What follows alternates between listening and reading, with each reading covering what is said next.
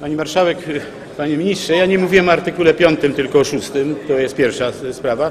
A druga sprawa, w uzasadnieniu czytamy, że ma to być system, który będzie funkcjonował 3 lata do czasu wejścia ustawy o informatyzacji w systemach opieki zdrowotnej. To dlaczego preliminat kosztów jest na 10 lat? Proszę mi na to odpowiedzieć. Dziękuję.